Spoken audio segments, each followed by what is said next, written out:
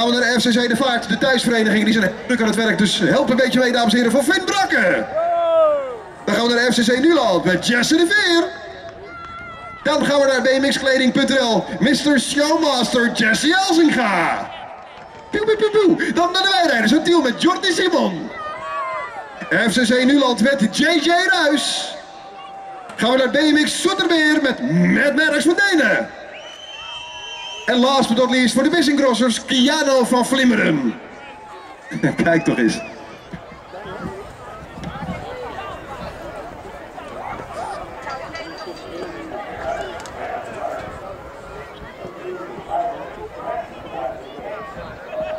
Laatste light en we zijn vertrokken in die sterke finale van de boys. 9 jaar, het lijkt van Flimmeren te zijn. Van Flimmeren van Denen, van Flimmeren van Denen. Dat lijken de eerste twee. De de Stiel komen daartussen nog door met Joe verrassende Jordi Simon. FCC de vaart vloog op plek 8. Dat ga ik gewoon noemen, want dat verdient hij hoor. Want hij zit in de finale, Finn Brakker. Maar we kijken naar de man op kop natuurlijk. Het gaat om de overwinning. Dat is de man uit Nijverdal. Oh, crashing daar van Denen. Veel risico en dan zie je ook Elzinga daar nog onderuit schuiven. Die mannen zijn we kwijt en dan is Van Flimmeren los. Van Flimmeren op 1 voor JJ Ruis, voor Jordi Simon en voor de Nederlands kampioen Jesse de Veer. We zien Stienstra op 5 en Brak op 6. Maar Van Flimmeren, er staat geen maat op vandaag. Hij gaat van scrap tot finish aan de kop. Hij vindt deze wedstrijd de man op Nijverdal. Nummer 1 is Keanu van Flimmeren.